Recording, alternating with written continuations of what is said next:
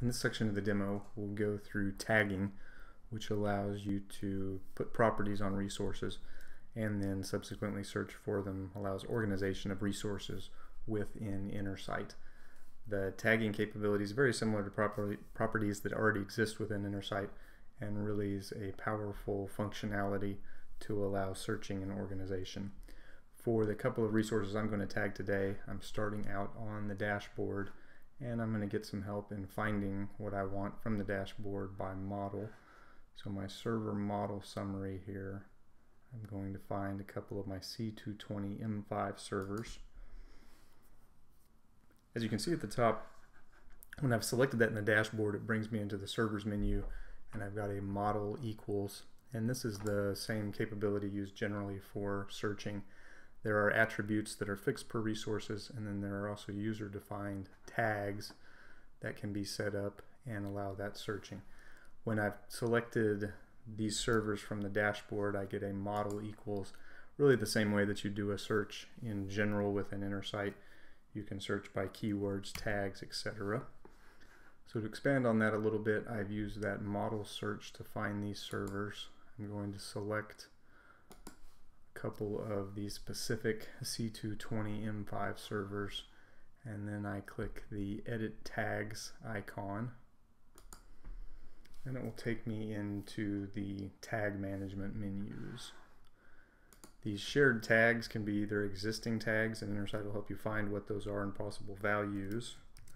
For this case I'll find my demo tag and enter a value of yes so that I can find it for subsequent demos.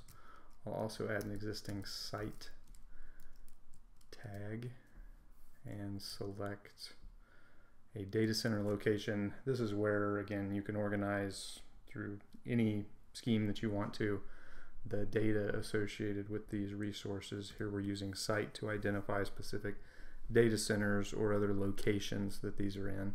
This is San Jose, California Building 7 that we're using to identify a site. And then I can also create new tags here, like a utility storage tag.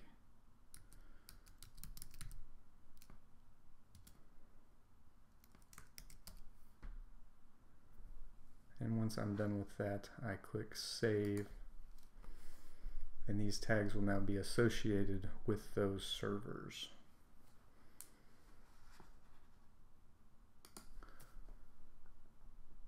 So if I go click one of these specific servers, in this case, the name here uh, ends in 0x9e. When I go to the general page, I see my tags menu, and that shows me all the tags associated with this server, which are just the three I just entered. I can also manage tags here per server.